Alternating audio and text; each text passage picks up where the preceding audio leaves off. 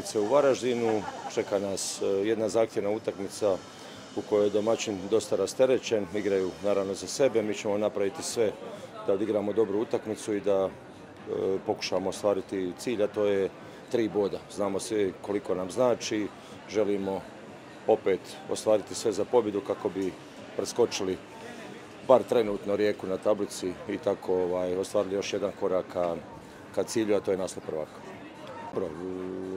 Ja mislim da su pod pritiskom, možemo, ovaj, da se to iščitati iz svega, jer e, cijelo vrijeme su tu na prvom mjestu, naravno kad u jednom momentu nisi da ti to malo i teže pada. Naravno da oni gledaju sebe kao i mi, do našeg međusobnog susreta, ali treba sve napraviti u tom psihološkom smislu da, da kažem da je bar taj jedan dan da, da ih prestigne.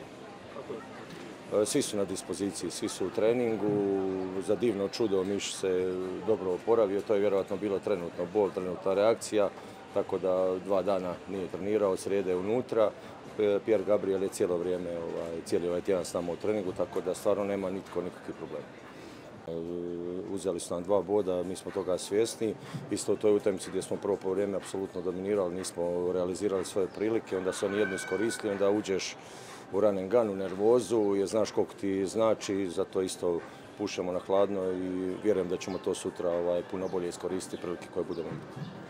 Pa je, da, od kad smo ispali iz Europe tako se potrefilo, pogotovo ta dva derba na poljudu nekako su nam dala zamašnjak prema naprijed u biti i sad smo počeli imati trenažni proces kvalitetan tjedni. Ja ne igram više svaka tri dana i to se odmah vidi. Igrači su onako i mentalno odmorniji i fizički pogotovo. Opet imaš cijeli tjedan tako da možeš se pripremiti za, za prvenstvenu utakmicu.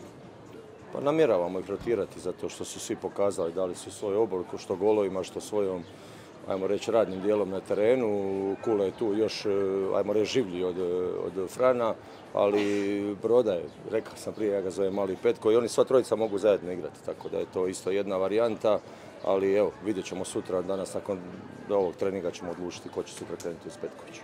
Kako je išla realizacija na treningu ovaj tjedan, se popravlja malo s obzirom na svu onu brojku šansi koje stvarate svaku utakmicu, pa ono što ste pričali prije, ne zabije se pa se uđe u neku nervozu, da se to bar malo popravilo?